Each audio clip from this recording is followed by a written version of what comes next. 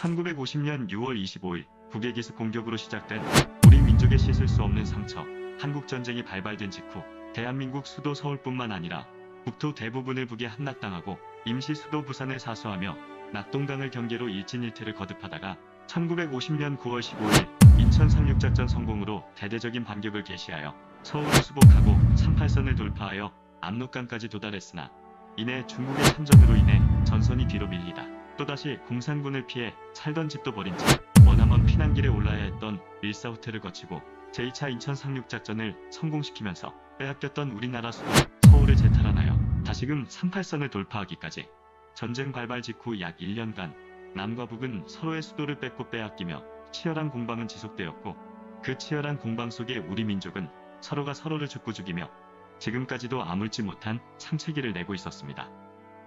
그리고 그 긴박했던 시간 동안에도 지도자라 불리는 이들의 부정부패로 인해 우리 국민들은 국민방위군 사건으로 또다시 비참하게 희생되었고 이 전쟁조차 자신들의 출세의 기회로 이용하고자 하는 힘 있는 자들에 의해 우리 국민들은 또다시 어린아이 여성 어르신들 구분 없이 무자비하게 학살당했습니다.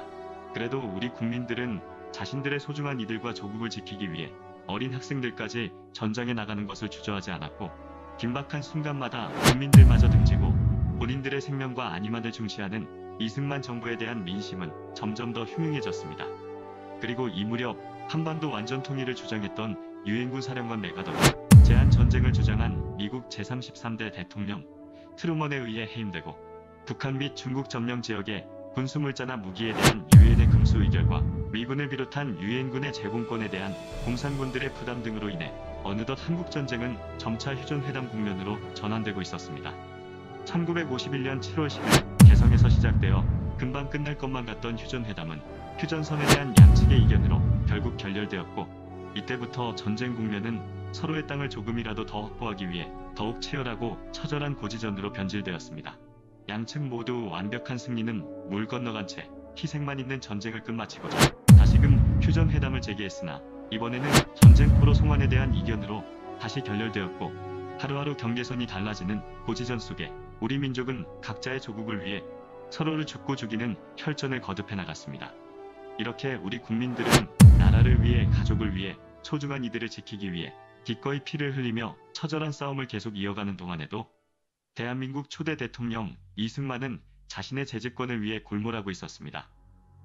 여소야대 국회에서 당시 헌법에 의한 간접선거제로는 자신의 재선 성공이 어렵다고 판단한 이승만 대통령은 1951년 12월 대한청년단 대한국민회 대한노동조합총연맹 농민조합총연맹 대한부인회 등 규모 있는 각종 사회단체를 산하기관 단체로 편입하여 자신이 당수를 맡고 부당수는 이범석으로 하는 자유당을 창당했습니다. 그러나 이 무렵에 여소야대 국회 내에서도 같은 이름의 자유당이 창당되었는데 이는 반이승만 성향의 오이영을 비롯한 무소속 의원들이 대거 포함된 공화국락부와 친이승만 성향이지만 국민방위군 사건으로 쇄신이 필요했던 신정동지회 인사들이 결합한 이승만 정부와는 결을 달리하는 정당으로 국회 내에서 창당된 자유당을 원내 자유당으로 이승만이 창당한 자유당을 원내 자유당으로 칭했습니다.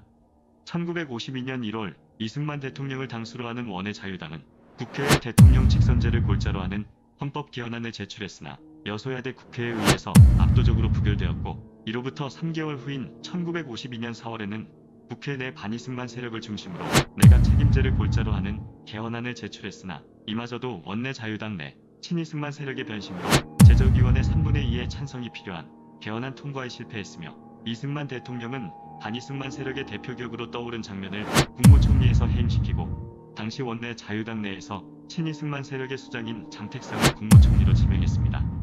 양측의 개헌안을 조정하는 역할로 국무총리에 지명된 장택상은 취임과 동시에 개헌안 4개 원칙을 발표하며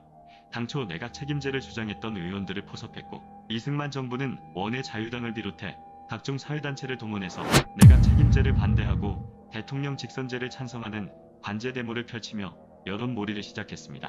바로 이 무렵 거창양민 학살 사건에 국회 조사단장을 맡으며 내각 책임제를 적극 주장했던 무소속 서민호 의원이 전남 순천 평화관에서 자신을 암살하려던 현역 대위 서창선을 호신용 권총으로 살해하는 사건이 발생했고 여소야대 국회에서는 이 사건을 정치 공작이자 서민호의 정당방위로 판단하며 서민호 의원 첫방 결의안을 가결했습니다. 이에 1952년 5월 대한민국 임시수도 부산에서는 국회 예산과 국회의원 소환을 외치는 이승만 정부의 관제 데모가 연일 이어졌고 이승만 대통령은 원외 자유당 부당수이자 초대 국무총리 겸 국방부 장관을 역임했던 이범석을 내무부 장관으로 임명하며 관제 데모를 더욱 적극적으로 도모했으며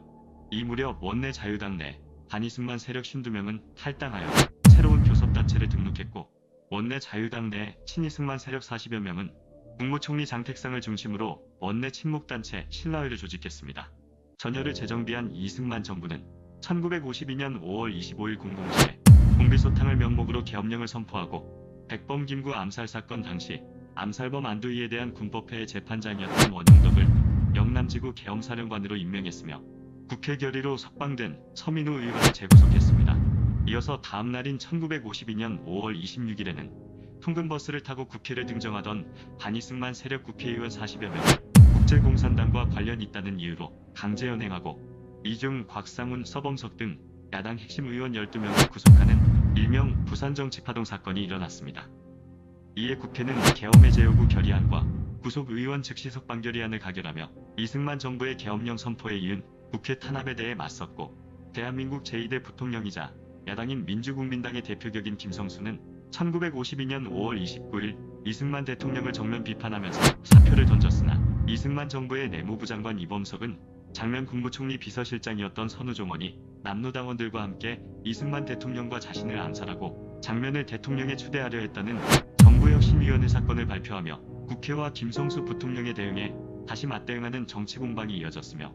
이승만 정부를 비판하며 사임했던 대한민국 제1대 2대 부통령 이시영, 김성수를 비롯하여 이승만 정부에서 각각 국무총리와 내무부 장관을 역임했던 장면과 조병욱 등 제야인사 60여 명이 1952년 6월 20일 부산 남포동 국제구락부에 모여 단독제 호원 구국투쟁위원회를 결성하려는 순간 괴한들의 습격을 받아 무참히 강제 해산되었던 국제구락부 사건이 발생했습니다.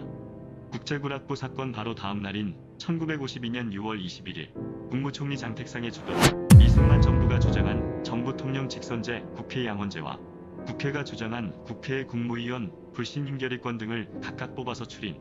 일명 발췌 개헌안을 국회에 제출했고 1952년 6월 25일 이승만 암살 미수 사건까지 이어지면서 국회 내의 반이승만 세력은 정부의 연이은 탄압과 각종 정치 공작에 의해서 분열되거나 위축되었고 결국 1952년 7월 4일 이승만 정부의 경찰과 군이 국회를 포위하고 진행한 표결을 통해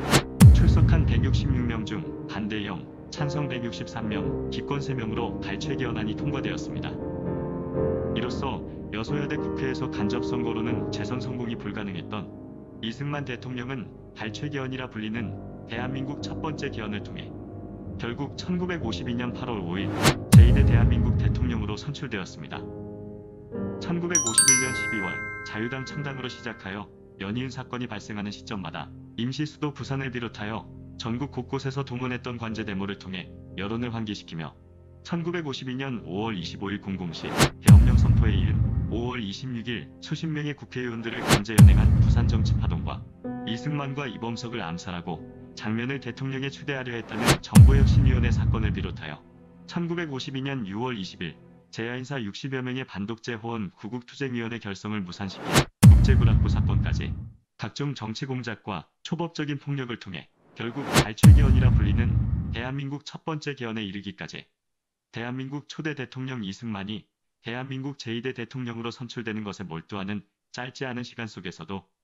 우리 국민들은 조국을 위해 가족을 위해 소중한 이들을 지키기 위해 기꺼이 피를 흘리며 처절한 싸움을 계속 이어갔으며 그렇게 하루하루 경계선이 달라지는 치열한 고지전 속에서 또 다시 소중하고 값진 목숨을 기꺼이 바쳤습니다.